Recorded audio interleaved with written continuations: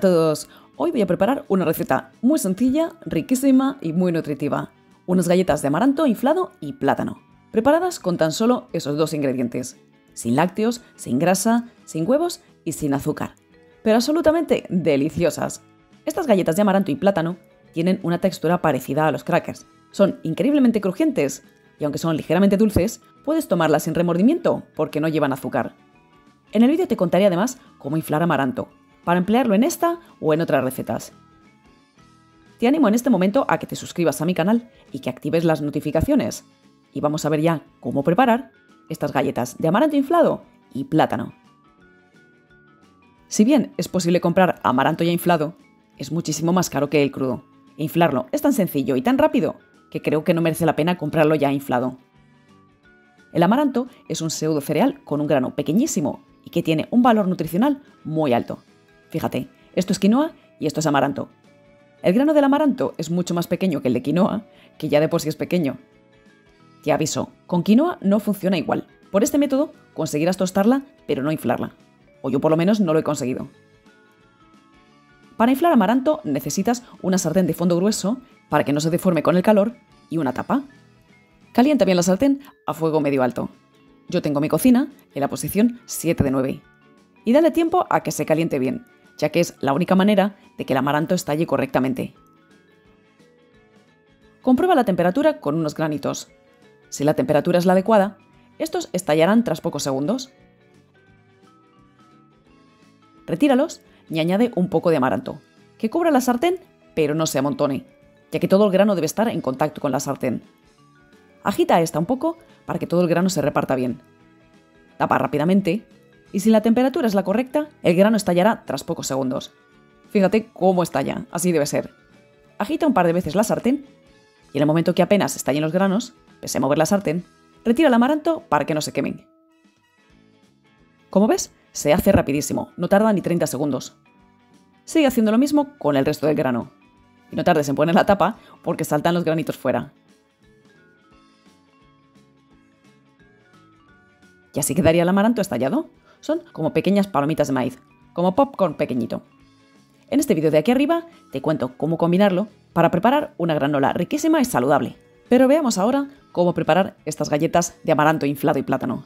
Para prepararlas necesitas un plátano, lo que en algunos países conocéis como banana, bien maduro. Dependiendo de lo maduro que esté, el plátano o banana aporta más o menos humedad. Más cuanto más maduro esté. Si no está muy maduro, te costará además machacarlo completamente, Písalo con un tenedor hasta obtener, como ves, una crema sin trozos.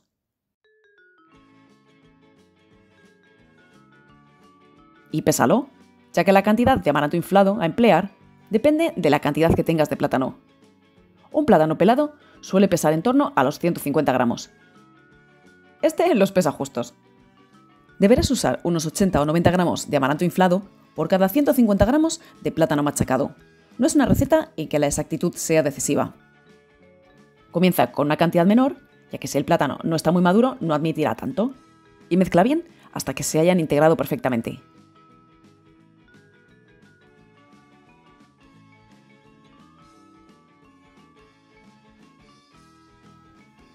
Si la masa está demasiado húmeda, sigue añadiendo amaranto. Esto hará que la masa sea más manejable y las galletas más crujientes. Ve mezclando hasta que tengas una masa que no se pega demasiado a las manos, pero que tampoco se resquebraja.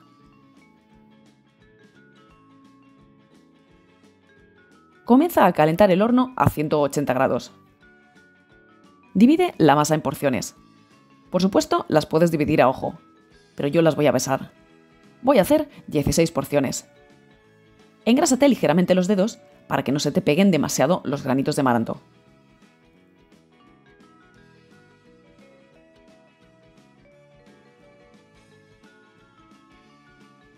Para extender las galletas necesitas dos pliegos de papel de hornear.